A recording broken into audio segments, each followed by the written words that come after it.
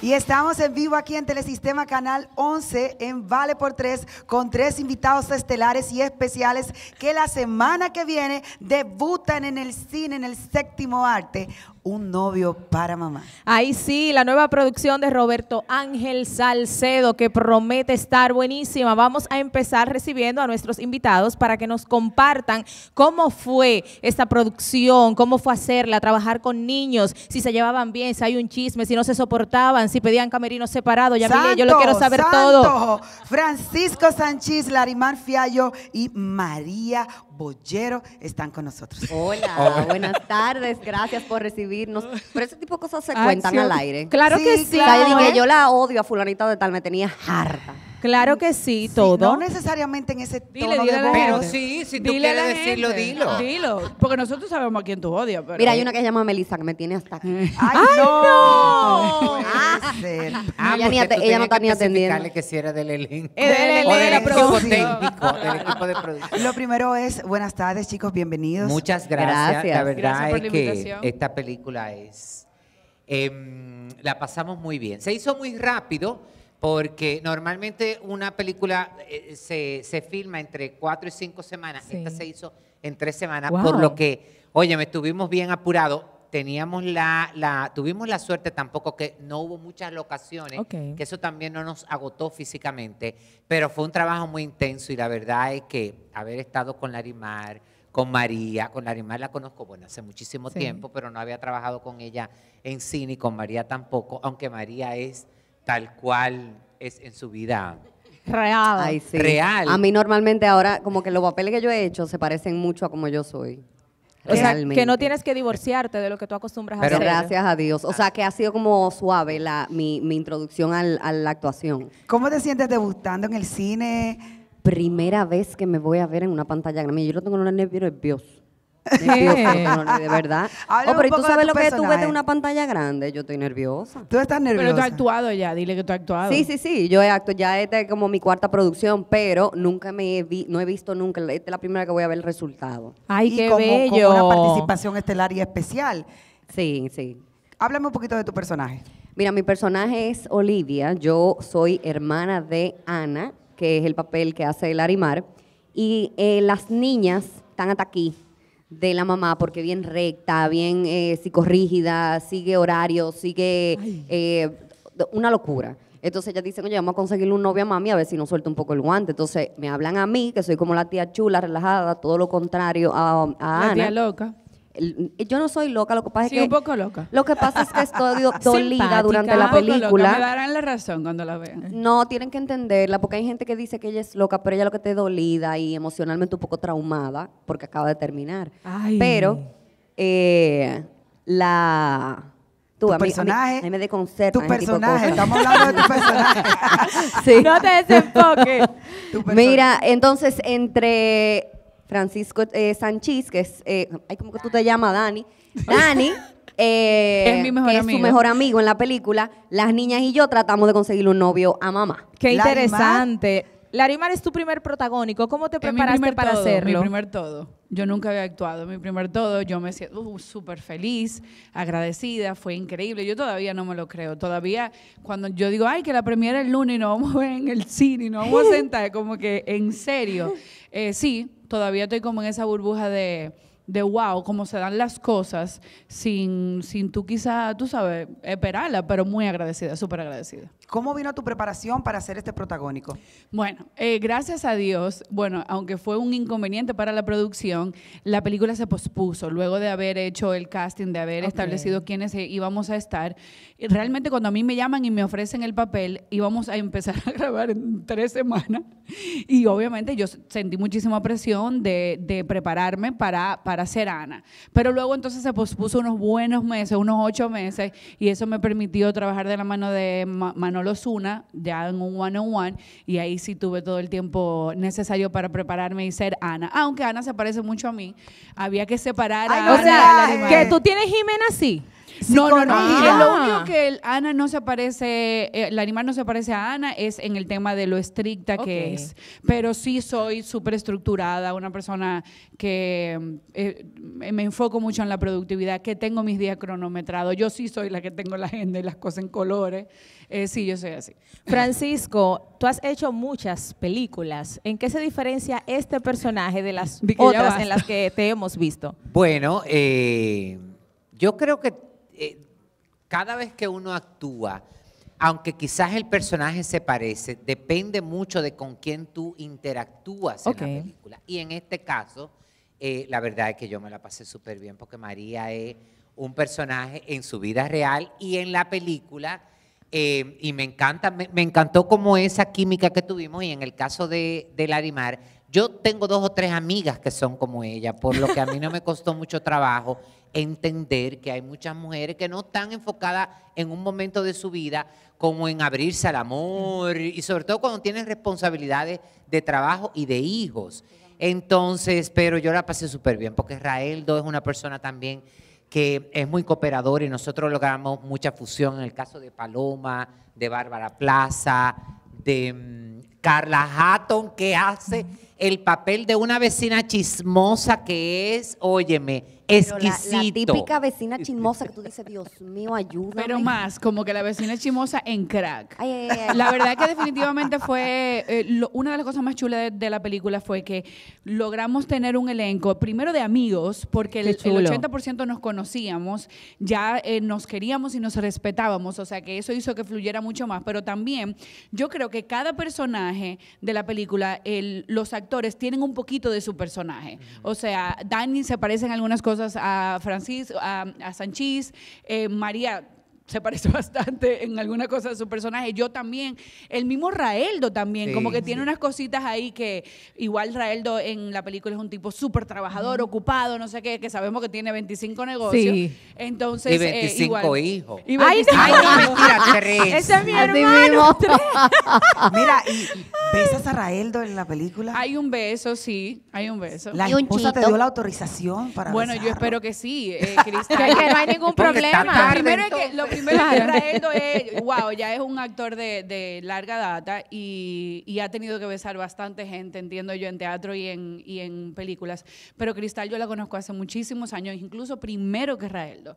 Así que yo espero que sí, que no. Todo muy bonito, estamos listos para ver la película. Ay, pero-. Yamile siempre dice que yo soy chismosa. No, no, no, pero antes de que tú Cocoró. empieces con el chisme, nosotros queremos agradecer muchísimo. Ya Larimar lo mencionó a Manolo Zuna, que fue Ay, nuestro sí. director de actuación y nos Ay, sí. sacó los personajes. En el caso de Roberto Ángel, que nos dirigió de manera magistral, el equipo técnico, óyeme, que fue maravilloso, y las muchachas, eh, doña Joana, por supuesto, Wendy, Melissa, Joanny, que estuvieron ahí muy pendientes de nosotros, porque eso es algo importante. Sí. Cuando tú llegas a un lugar y te tratan como un rey, como una reina, y te facilitan la- las cosas, te las resuelven para que tú te enfoques en el personaje. Además, la gente de vestuario también, No, todo Elizabeth, el todo, su equipo, maquillaje. Ay, sí. La verdad es que, que la pasamos muy bien. Tina, y fueron, Taína. La Ajá, encargada- la encargada ahí, ¿tú de- un- Claro. No un chisme, ¿Qué- qué- qué pero pasó? Larimar. No, Larimar no. Larimar no. María, mira. María, mira. María nos pegó el COVID. Ah, exacto. Eso es Se lo mentira. pegó a Larimar y mentira. después te lo Claro, pegó a mí. Ella Eso se lo pegó mentira. a Taína y Taína me lo pegó a Claro. mí en una champaña y, Y- yo se lo pegué. Eso es ¿por mentira. a- ¿Por el qué te digo que fue ella que tuvo COVID a ti? La única estaba mal. Se puso mala. ¿Quién? Es tanto que no ¿Quién, pudo rodar un día. Oye. llegó con una gripe malísima. María, Mira, yo mandé una la- foto con un suero Tú te pegado. hiciste la prueba del COVID. Yo me la hice. Sí, yo me la hice, pero ¿sabes cuál ella se hizo, verdad? La ¿Cuál? rápida. La La casera, rápida. mi amor, que sale. Señores, Es eso es un mentira. falso positivo. Entonces, Oye, toda primero la que yo se puso mala, mala Larimar y ella no había dicho nada. Y No. cuando yo me... Mira, ¿Que yo qué? mira. ¿Que yo qué? Primero te No pusiste mala nada. tú y tú no ¿Qué habías te dio dicho el nada. COVID? ¿Te dio COVID? A mí me dio COVID hace dos años. No, A mí me ahora, dio en la también, película. Hace mucho. No, Pero no, me dio primero, co- pero ah, primero te pusiste mala tú y tú no habías dicho nada. No, Tú mi sabes, porque amor, hay gente, la hay gente primera que se fuerte, puso mala hay fuiste gente tú. Que fuerte había un bochinche. con Había un No Yo sabía. mira, se pone mala María Ajá. y luego No fui yo Taína la se primera. pone mala falta dos días. Taina con las mismas brochas que te maquilló a ti, Qué nos vaina. maquilló a todito. Y el último día, el día de- del cierre, yo llevé unas champañas y Ay, todos Dios estábamos mío. embicados porque no era en copa, era de la botella. Se pegan de la misma botella. Entonces, Qué fuerte. Entonces pasa cerró, cerró dicen. en la película cerró todo el mundo con para COVID. su casa. Yo, Pero Larimar fue la mi que llevó el cumpleaños COVID era al- la al- semana al después estudio. y yo pongo un lunes. A la Lamento producción. informar. Ah, después de que por ya terminamos de rodar, ¿verdad? Que tengo COVID. Nah, después de que terminamos de vez, robar. Oye, yo llamé al médico y me dijo, bueno, si tú me acabas de decir, porque óyeme qué pasó, el último día de rodaje se dejaron las escenas de Larimar, María y un servidor. Entonces, ay, como tú ay. entenderás, Y yo eh, yo sabía que se me iba a pegar, yo llamo al médico y me dijo, tienes que dejar que pase un par de días, pero como tú entenderás, tú tienes COVID, entonces... Y me escribió por privado y me dice, hermana, usted y yo estábamos pegados de la boca de una botella. Yo tengo COVID. Entonces, ahora te pregunto yo, ¿por qué a ella no le dio si ella estaba en el... Porque Claro. ya ya la había dado. Claro, porque ya lo No, no, tenía. No, porque ella tiene defensas pero Tú eres altas. paciente cero, Pero mi amor. Es que no, no. claro que no. Es que Oye, tiene la primero te defensa pusiste alta. mala tú y cuando yo dije que María. me sentía mal, Salta Sánchez, yo tengo como una, como una cosita también que yo me siento María, medio mal. escucha, la- escucha lo que te voy a decir. Tiene las defensas altas. ¿Quién, Ya, yo? Sí, esto fue la defensa. A mí me da todo. No, a esta me la, da esta es la todo. defensa. Ah, pues tú ves, no, ya ella se metió al medio. Lo que pasa era que le acababa de dar y no repite tan Claro, rápido. Entonces, en el Ah. grupo fue así. Primero yo, después Francisco dijo, lamento informar que tengo COVID. Después fueron cayendo todos en el grupo. Sí, Ay, pero señor yo tengo padre. Oye, que lo que pasa, también hay gente que cuando se enferma, eh, di que con fiebre, di que estoy aquí, voy a trabajar. Yo estoy, yo me pongo mala y yo tengo que quedarme, yo, yo soy débil, yo lo siento. Entonces, el día, el día que yo falté, yo mandé una foto con un suero puesto y todo para poder ir a trabajar al otro día. Se supone que yo no tenía nada. Pero ojo, cuando yo ojo. llego, ya al otro día a trabajar, grave todavía, me dice Sanchi, yo tengo como una molestia, como así, como, como, como, no sé, como Era, era todo el equipo. cuando terminamos, cuando terminamos la- ya el rodaje, qué conveniente que salta Larimar. Quiero que todos sepan que tengo COVID. Sí, pero O sea, espérate. que ya lo tenía. Pero no lo regó. Tú la estás oyendo, ella se hizo una prueba casera primero y tú la estás oyendo ella dice que ella tenía un suero y tú crees que ella tenga una clínica, ¿verdad? Como Mm, manda la ley, claro. en su caso un- era un suero Ah, de vitamina era Para poder ir a trabajar. de Ay, vitamina Dios era, no era No, de esa- Ay, de- señor. ellos mezclan de ya todo. usted se imagina ¿Cómo todo lo que se película? vivió en este rodaje. Ya usted se imagina lo cómico que quedó todo. Entonces, yo lo que quiero es que ustedes me digan por qué no perderse esta película. Mira, Un novio para mamá es una comedia romántica, no tan romántica para toda la familia. Y es importante decir para toda la familia, porque yo creo que hace mucho tiempo nosotros no tenemos producciones en el cine dominicano que tú puedas ir con tus hijos Sí. con, so- con ojos cerrados y no tengas que luego salir corriendo con ellos a mitad de la película. Entonces, es una, es una producción para toda la familia donde hay tantos personajes, hay tanta versatilidad, hay tantas historias eh, pasa- pasando simultáneamente que definitivamente tú te vas a identificar en algún momento con alguien de la película. Así que yo creo que eso es un buen motivo. ¿A partir de qué tiempo está ya? El- eh, a partir del 23 de febrero en todos los cines está un novio para mamá y sobre todo, óyeme, hay muchos niños que se van a sentir identificados con las actuaciones de Miranda, de. Jimena y de Sofía. Porque eh, los muchachos son así. Ay, sí. Y tú sabes que los muchachos no tienen filtro. y Dígamelo a hay mí. una mamá estricta, pero hay un papá súper eh, eh, Consentidor. libre, hay una tía No, hay un papá, pero- un papá libre, un papá irresponsable. Un papá- que aparece de vez en cuando. Que sobreabunda mucho en esta sociedad. Dale, María.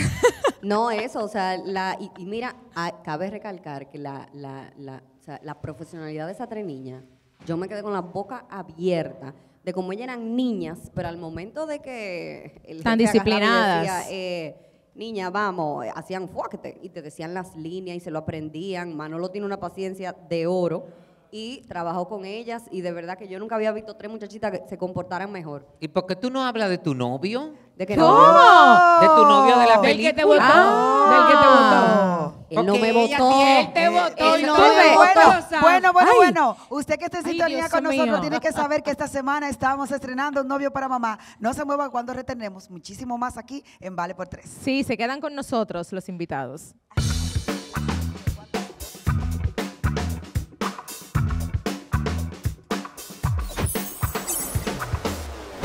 Un novio, Mónica, Sí, uno que está más lindo que el que te votó. que él no me votó. Sí te votó, todo el mundo lo sabe. Bueno, te sacó los pies. Mira, mi personaje, Olivia, Se supone que ella es la hermana loca de Ana, se la pasa bebiendo, se la pasa de fiesta. Dice la gente que ella está loca, pero ella lo que está pasando por un momento un poco frágil emocionalmente y por eso se la pasa bebiendo, saliendo, llorando. Un desastre. Ahora mismo ya está hecha. Pero es la tía chula, la madre. Dani es intenso, manipulador, controlador, pero muy divertido, que es el mejor amigo de Ana y que entiende que como ella botó el corazón y no lo encuentra, y es una mujer tan joven, tan atractiva, hay que buscarle una pareja.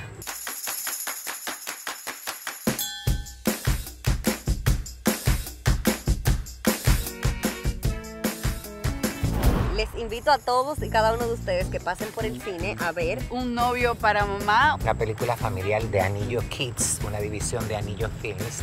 Está muy bien dirigida, muy bien escrita. Una comedia donde todos se van a divertir mucho, se van a reír y sobre todo van a aprender a valorar lo que ya tienen. Toda la familia puede ir a verla y va a ser una experiencia maravillosa. Vayan y ya.